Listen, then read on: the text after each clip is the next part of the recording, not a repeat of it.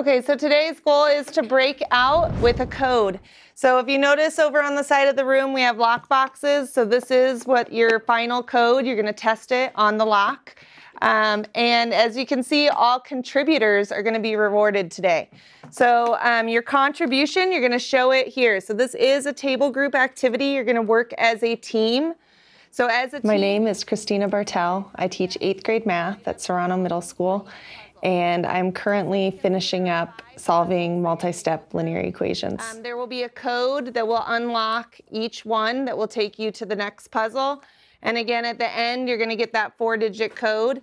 Um, once your table has that and you show me your contribution, you'll come over and grab a lockbox. A digital breakout is where students are using a Google form or sometimes a Google site and they're going through multiple activities. Usually they involve some sort of puzzle that the students have to solve in order to move on to the next segment of the activity. So the digital breakout act activity that Ms. Barthel had, had us do was we had to solve a bunch of equations and problems and we would find out the code in the end. Like we would get the answers and then we would either have to like add them up together or organize them. It's important to be uh, creative with the practices that I'm giving students because at times they get tired and um, will get somewhat lazy with doing the work. So I try to come up with creative ways for them to practice that's going to motivate them to do the problems.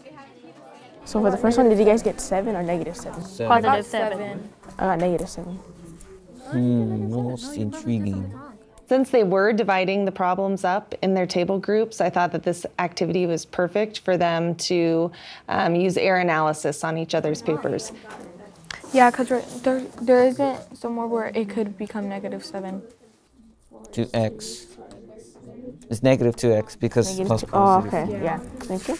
The last step is for them to um, unlock the lockbox. So uh, students would get a code and there's a notification on the Google form that's telling them that yes, they've successfully completed the breakout um, and to get a lockbox and unlock that for their reward. So I actually just bought these lock boxes uh, on Amazon, and as well as the locks. The locks are actually just suitcase locks.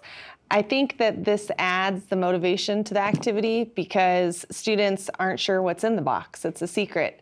So they're very excited and curious um, about what they'll get once they unlock the code. So I'm just so excited because we finished, guys. I'm proud of us.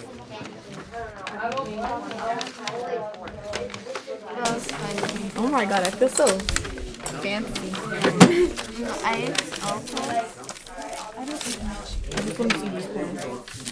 Usually I fill the boxes with um, just little things. I try not to make it too expensive. So pencils, they can always use a pencil, uh, erasers, um, usually some candy.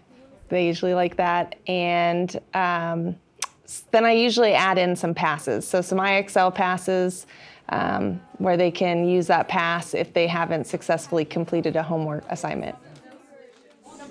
In the box, there was a front line pass, there was also an IXL pass, and candy, and a pencil. I feel that students are more interested in getting to the reward. It's not really what it is. So they don't really care what's inside the box. I think that they would be excited with anything you put in the box. Uh, my table group didn't get to unlock the box. We were trying hard, but we weren't able to finish the um, fourth box. It was we were getting confused with the um, numbers, and we couldn't get the correct answer.